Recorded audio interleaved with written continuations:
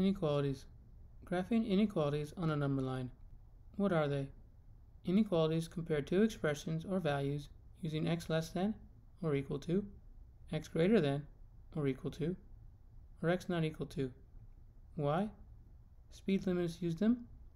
Interesting fact, geckos have unique toes which allow them to be good climbers. Now, let's take a look at the examples we're going to discuss in today's video. Let's take a closer look at example 1. Let's read the steps. Step 1. Check the sign. Step 2. x less than or equal to, draw left. Step 3. x greater than or equal to, draw right. Now, let's read the question. Graph the inequality x less than 17 on a number line. Before we get started, let's take a look at the top right. We have filled in circle, or you might hear closed circle, which means the numbers included in the answer. That is for less than or equal to or greater than or equal to. And we have empty circle, or you might hear open circle, which means the number is not included in the answer. That is for less than or greater than. Let's get started. We already have our number line.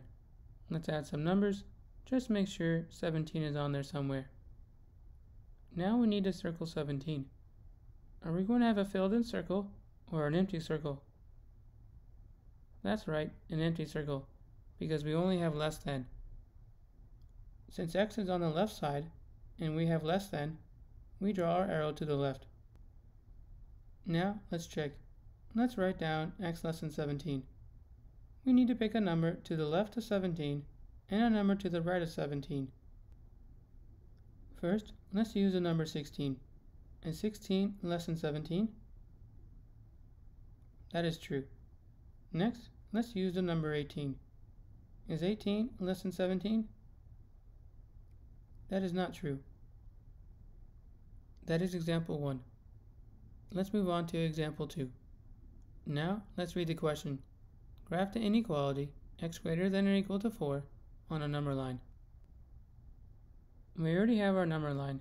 Let's add some numbers just make sure 4 is on there somewhere. Now we need a circle 4. Are we going to have a filled in circle or an empty circle? That's right, a filled in circle, because we have greater than or equal to, or specifically, or equal to.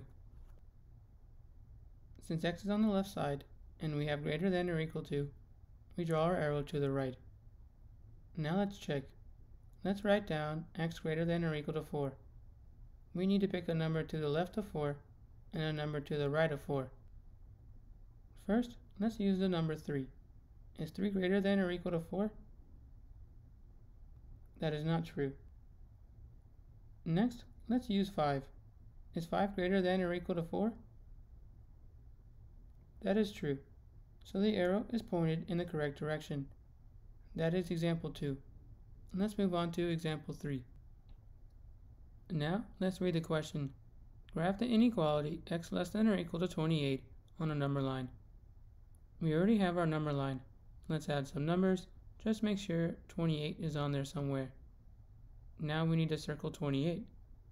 Are we going to have a filled in circle or an empty circle?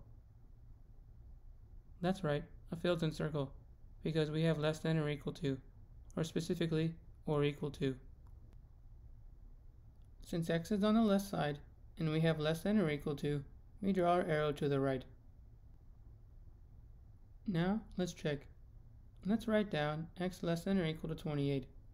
We need to pick a number to the left of 28 and a number to the right of 28. First, let's use the number 24. Is 24 less than or equal to 28? That is true. Next, let's use the number 32. Is 32 less than or equal to 28? That is not true. So the arrow is pointed in the correct direction. That is example 3. Let's move on to example 4. Now, let's read the question. Graph the inequality x greater than negative 3 on a number line. We already have our number line. Let's add some numbers. Just make sure negative 3 is on there somewhere. Now we need to circle negative 3. Are we going to have a filled in circle or an empty circle? That's right, an empty circle, because we only have greater than. Since x is on the left side and we have greater than, we draw our arrow to the right. Now let's check. Let's write down x greater than negative 3. We need to pick a number to the left of negative 3 and a number to the right of negative 3. First, let's use negative 5. Is negative 5 greater than negative 3? That is not true. Next, let's use the number 0. Is 0 greater than negative 3? That is true. So the arrow is pointed in the correct direction. That is example 4. Now it is your turn.